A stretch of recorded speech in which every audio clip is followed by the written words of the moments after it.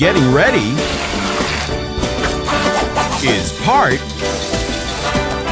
of the fun.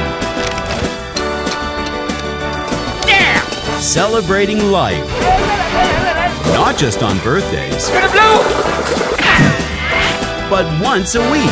It's party time! Wow. Dinner is served,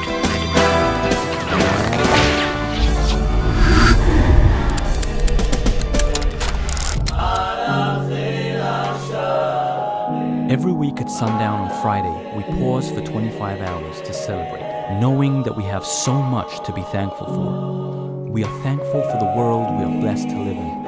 We are thankful for the energy of the six days. We are thankful for the blessings that come with hard work. And we are most of all thankful for God, who rewards our efforts with achievements. Like a birthday, we celebrate with anticipation and preparation, with food, guests, song, and hopeful anticipation that the best is yet to come.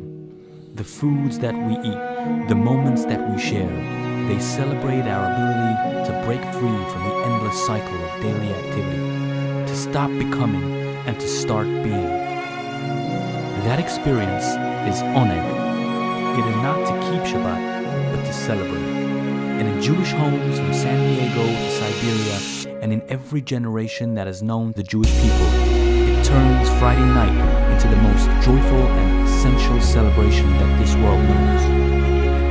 Shabbat. Taste it, celebrate it, it is yours.